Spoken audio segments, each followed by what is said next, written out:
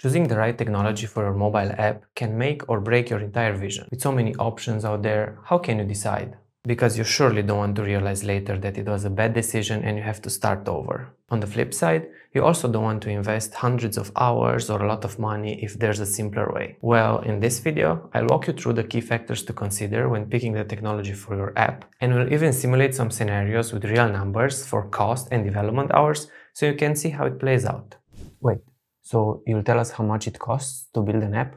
Whether you're a developer looking to build your own app or a founder who's looking for a team, by the end of this video, you'll know exactly what to do. So let's go. If you're new here, my name is Dan. I'm a mobile software engineer with nearly 10 years of experience in building iOS and Android apps for both startups and big companies. I'm still doing that now, while also sharing my knowledge and experience here on YouTube and also on Instagram and LinkedIn. So with all these frameworks and tools, Making a suboptimal choice for your app can lead to higher costs, longer development hours, or even poor performance. I made a full breakdown of the technologies you could use in another video, which also happens to be my most viewed video on the channel so far. You can check that out for a deeper technical dive, but today we're zooming out and looking at the bigger picture. As a short recap, your options are native iOS and Android apps separately, cross-platform apps made with Flutter, React Native, or Kotlin multi-platform, and hybrid apps or progressive web apps or even no-code tools in some cases. There are three main things that you need to consider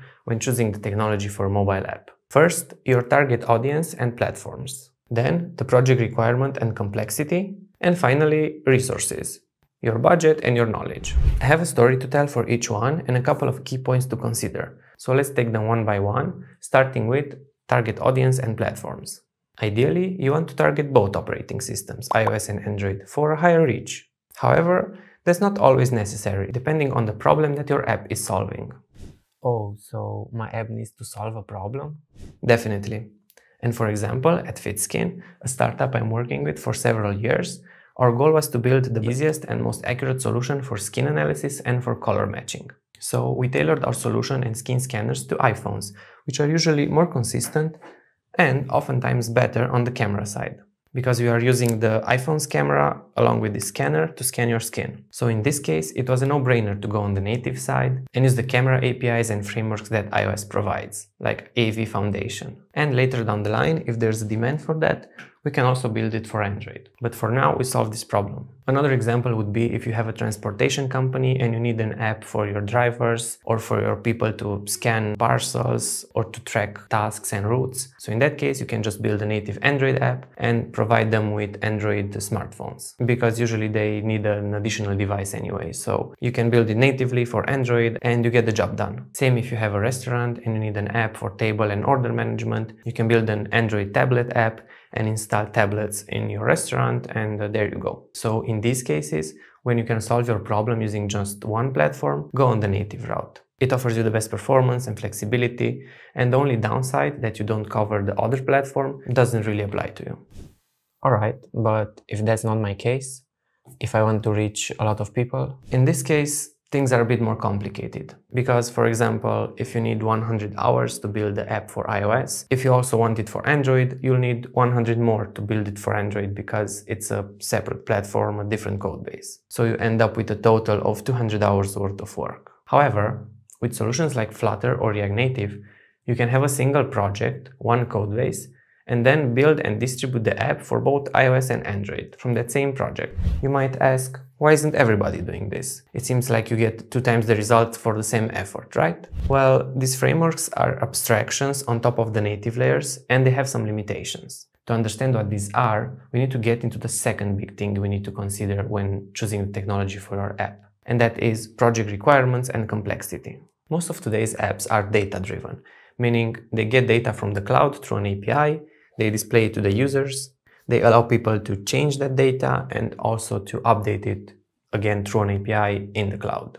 Some examples would be shopping apps like Zara or social media apps like Instagram or Facebook, and even booking apps for hotels, airlines, or trains. In these cases, where you need to make network requests and parse and process data and display it via a nice user interface, frameworks like Flutter or React Native can be a great choice.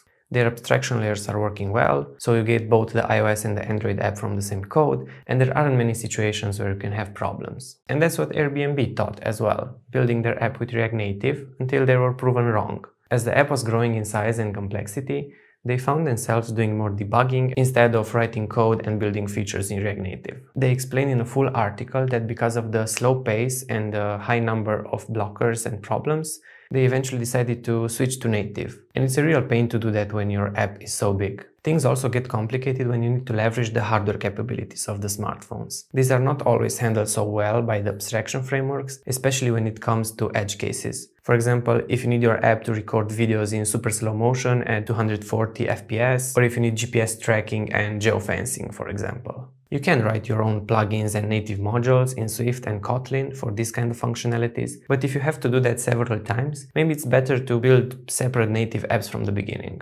Otherwise, what you hope to be close to 100 hours in our example ends up getting closer to 200 actually due to all these exceptions and the additional code you need to write. So you end up with roughly the same amount of effort invested in this, but you don't even have the best performance. Be careful about that. It seems complicated. Can I know this when starting out? First, you can subscribe here to stay up to date with everything in mobile development and programming.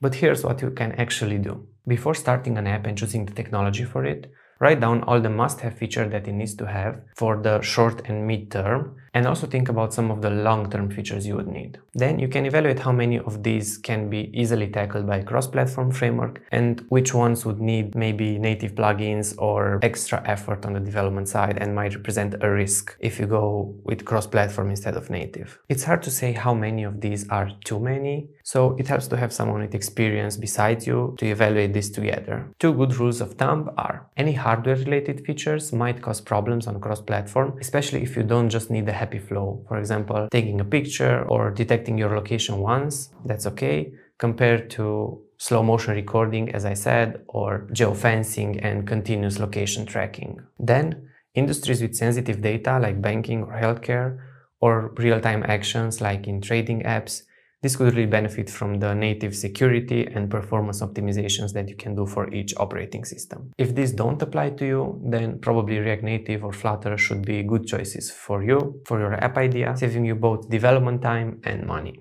Oh, and if you're wondering which one to choose and where does Kotlin multi-platform stand, because we didn't really talk about it, well, we need to get into the third big thing that you need to consider when choosing the technology for your app, and that is your resources budget and knowledge. You'll see in a moment why they are grouped together.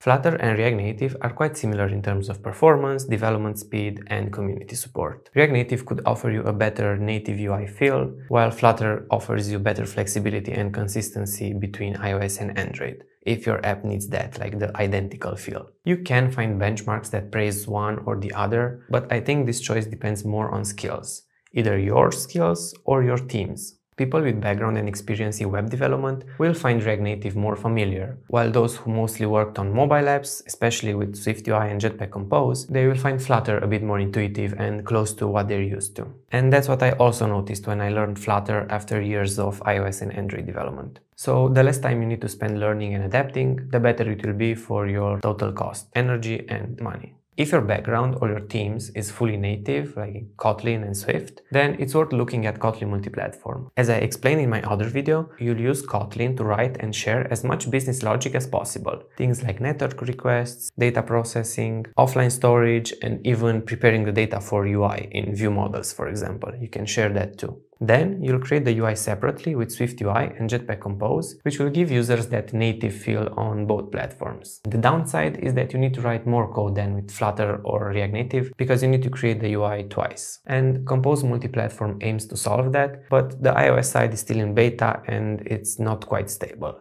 However, Kotlin multi-platform should be faster than separate native apps because you get to reshare a big part of the business logic and some integrations. And if you and your team have background in Swift and especially in Kotlin, then it will be easier to adapt than adapting to React Native or Flutter. So from a total of 200 hours in our example, if we assume that half of it is UI and half of it is business logic, then you automatically save 50 hours because you write the business logic just once, assuming you don't have any integration errors, of course. And speaking of that, on the budget side, everybody wants to save time and money. So the budget question actually is how much do you have and are you willing to invest? Close to 200 hours or not a lot over 100. And we'll switch to dollars in a moment. Are you willing to take the risk with a cross-platform framework to get closer to 100 invested hours? And this could go smoothly, by all means, it's not impossible. Or do you prefer to be on the safer side, closer to 200 with a native approach, while also getting better performance and less problems along the way? And what if I don't have enough even for 100 hours? Well, in that case, there's not a lot you can do other than look at some no-code tools like Flutterflow or Application Studio, but they still offer a below average experience. So I only do that for a very, very simple app with a couple of screens. Or if you also need a web application and you have the budget for that, you can look at progressive web apps or hybrid frameworks that will allow you to reuse a lot of that web related code and technology in general to have a, a mobile app. That's not my area of expertise, so instead of diving deeper into that, let's wrap up our mobile specific technologies by looking at them side by side. With the native approach, we had the example of 100 hours per platform, so that makes it 200 in total. Building the same app with Flutter or React Native could get you closer to 100 in theory, but in practice, it's somewhere between 120 if everything goes smoothly, to maybe 160 or over if you hit a lot of blockers and problems along the way. It's harder to debug, you might need to write native code. So yeah, it's harder to predict compared to the native route. As for Kotlin multi-platform, it should be around 150, but the more UI you have, more screens, and also like if you have integrations that are not supported yet, like Google Maps, and you need to integrate that separately for iOS and Android, it cannot be done in the shared module. This number increases again to 170 maybe, depending on how many of these you have. Of course, this will get better over time because Kotlin multi-platform starts to support more such libraries like Room and Data Store, so it will get better. When in doubt what to choose, always go back to the three main things we discussed target audience and platforms, you might be able to solve the problem using only one platform. So in that case, build natively for that platform at full speed. Then app requirements and complexity. Pay attention especially to hardware integrations and, and to the long-term plan of your app and, and what complications it might add along the way. Because you don't want to end up like Airbnb, right? I mean, they are still here, but uh, they had to make that hard choice at some point. And finally, your resources, the budget and the skills. You should definitely consider what you and your team already know, what's your risk aversion towards building this app, and also how much are you willing to invest and to risk while building this app. As for actual dollar cost, our 100 hours per platform was just an example, but in my experience, building an app will be somewhere in the hundreds of hours. So let's say 500. To make it simple, if you calculate for a rate of a good developer, maybe 40 to 50 dollars per hour, it means that you need to have at least 25k to start with. And it grows with every piece of functionality that you want to add. Furthermore, you might also need the server side, the backend. It's not mandatory, but depending on what app you're building, it's a high chance you need backend as well. Of course, the best strategy is to not build it all at once, and to go in small iterations that are cheaper and easier to validate so you have feedback and you know how to continue. That, along with how to estimate the project and how much it will take, are topics for future videos. So comment below if you'd like a dedicated video on these topics or any other topics you might like and also subscribe to stay connected. For a full technical breakdown of the technologies we talked about today, check my most popular video on the channel so far and also the native versus cross-platform talk that I gave at the tech conference. You'll find it in the description. Alright, see you soon. Bye.